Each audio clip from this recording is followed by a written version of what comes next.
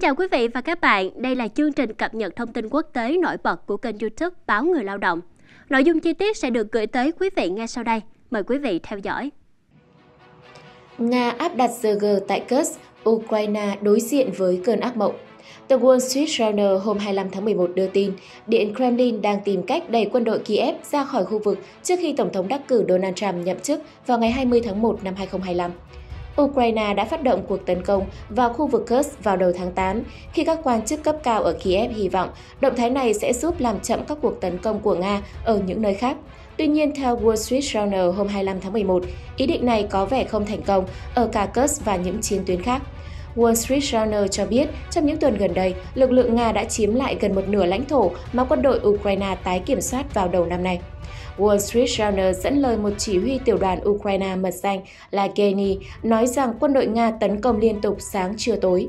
Theo chỉ huy này, Nga có quân số ở Kursk gấp 3 lần quân số Ukraine và số máy bay không người lái kamikaze cấp gấp 6 lần của Ukraine. Trong khi đó, một binh sĩ cho rằng quân đội Ukraine bị áp đảo về số lượng binh sĩ gấp 10 lần ở phía đông nam thành phố Suda. Theo Wall Street Journal, bom lượn hạng nặng của Nga và việc không thể sử dụng Starlink trên lãnh thổ Nga đã làm trầm trọng thêm tình hình khó khăn của quân đội Ukraine tại Kursk. Hệ thống Internet dựa trên vệ tinh này từ lâu đã được coi là nền tảng của hệ thống liên lạc tiền tuyến của Ukraine ở những nơi khác.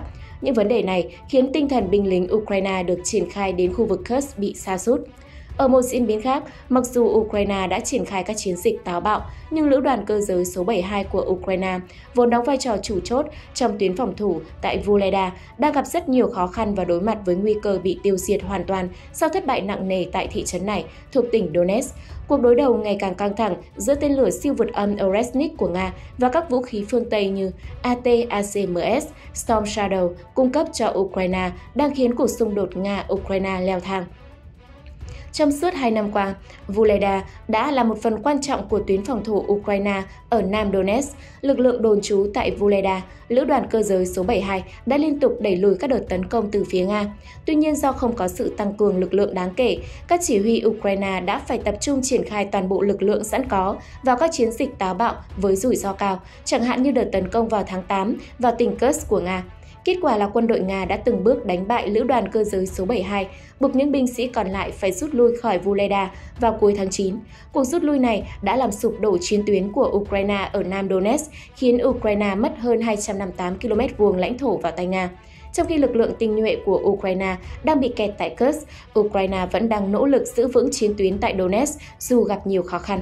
Ngoài ra, các nhóm tấn công của Nga cũng đã di chuyển xung quanh Velika, Novosinka, tiến về sườn đông của thị trấn này, khiến lực lượng đồn trú Ukraine, bao gồm tiểu đoàn xung kích số 48, lữ đoàn tổng thống và lữ đoàn vệ binh quốc gia số 17, đứng trước nguy cơ bị bao vây.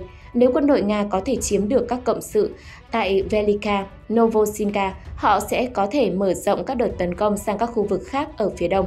Điều này tạo ra mối lo ngại lớn vì số lượng quân sự bị của Ukraine tại khu vực này không đủ để đối phó với các cuộc tấn công từ phía Nga. Ông Peppertua nhận định, sức mạnh của hệ thống phòng thủ cùng với sự khó khăn trong việc tấn công vùng đất này đã giúp Ukraine duy trì được sự kiểm soát ở một số khu vực, nhưng giờ đây họ buộc phải hy sinh một số khu vực khác để tiếp tục bảo vệ những vị trí quan trọng. Và việc Nga lần đầu tiên sử dụng tên lửa đạn đạo để tấn công thành phố Dnipro ở miền trung Ukraine chính là thông điệp mạnh mẽ gửi đến Kiev và các đồng minh. Cuộc xung đột đang leo thang khó lường khi chỉ còn hai tháng nữa là Nhà Trắng đổi chủ. Vụ tấn công là lời nhắc nhở rằng Nga hiện có kho vũ vũ khí đa dạng hơn với các loại tên lửa lớn hơn và khác biệt, đồng thời sẵn sàng phát triển thêm nữa. Theo đó, vụ tấn công hôm 21 tháng 11 này, theo trang Rolling Stone, dường như là nỗ lực của Điện Kremlin nhằm hạn chế không gian hành động của Tổng thống Joe Biden trước lễ nhậm chức của Tổng thống đắc cử Donald Trump. Ông Biden trước đó đã cho phép Ukraine sử dụng các hệ thống vũ khí quan trọng của Mỹ, trong đó có tên lửa chiến thuật nhằm củng cố năng lực phòng thủ. Trong bài phát biểu trên truyền hình, Tổng thống Nga Vladimir Putin hôm 21 tháng 11 cho biết Nga đã tấn công nhà máy Rusmas, một cơ sở sản xuất đạn dược ở thành phố Dnipro bằng tên lửa đạn đạo siêu vượt âm phi hạt nhân có tên mã là Oresnik. Nhà lãnh đạo này cũng để ngỏ khả năng không kích bên ngoài lãnh thổ Ukraine khi nhấn mạnh Nga có quyền sử dụng vũ khí nhằm vào các cơ sở ở những quốc gia đã cho phép một bên khác sử dụng vũ khí của họ để tấn công các cơ sở của Nga. Điện Kremlin cho biết, ekip của Tổng thống đắc cử Donald Trump đang thảo luận về kế hoạch hòa bình tiềm tàng cho Ukraine. Người phát ngôn Điện Kremlin Dmitry Peskov đã đưa ra nhận xét trên sau khi được yêu cầu bình luận về cuộc phỏng vấn của ông Mike Waltz với đài Fox News hôm 24 tháng 11. Ông Walz được ông Trump chọn làm cố vấn an ninh quốc gia.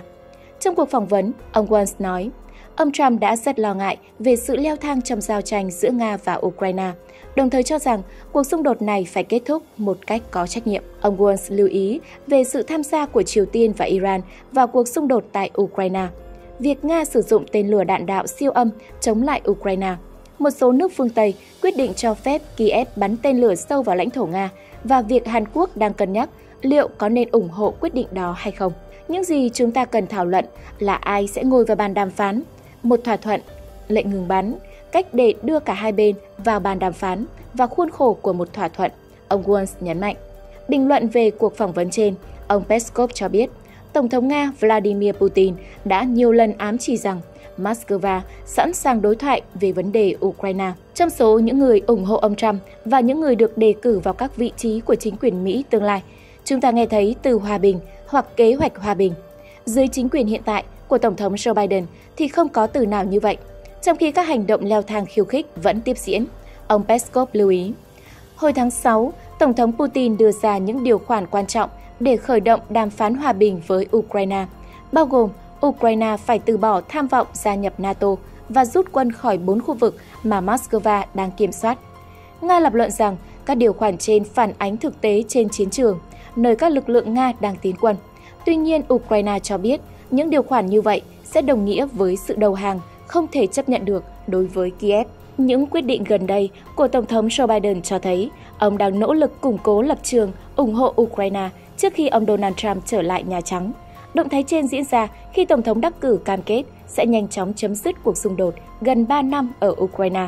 Điều đó có khả năng là một giải pháp đàm phán và ông Biden đang cố tạo điều kiện thuận lợi nhất có thể cho Tổng thống Ukraine Volodymyr Zelensky.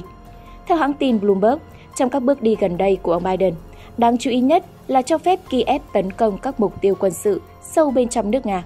Động thái ngay lập tức bị Moscow và đội ngũ của ông Trump coi là sự leo thang không cần thiết. Cũng trong tuần này, Nhà Trắng đã nhanh chóng phê duyệt việc gửi min chống bộ binh, xóa nợ gần 5 tỷ đô la Mỹ và trừng phạt một ngân hàng lớn của Nga vốn xử lý các khoản thanh toán bán khí đốt. Theo nguồn thạo tin, những bước đi này cùng với các biện pháp khác đang được xem xét là một phần trong kế hoạch của ông Biden nhằm làm nhiều nhất có thể để củng cố vị thế của Ukraine trước khi ông Trump nhậm chức. Chiến lược giúp ông Zelensky cho thấy rằng Ukraine có khả năng trả đũa Nga. Tuy nhiên, điều đó không có nghĩa là những động thái gần đây của ông Biden sẽ hoàn toàn không được ông Trump hoan nghênh.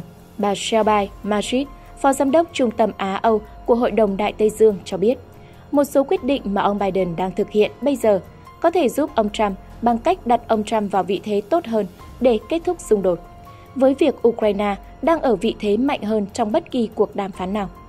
Tổng thư ký NATO Mark Rutte đã gặp ông Trump hôm 22 tháng 11 tại Palm Beach, bang Florida, nơi họ thảo luận về một loạt các vấn đề an ninh toàn cầu mà liên minh này đang đối mặt.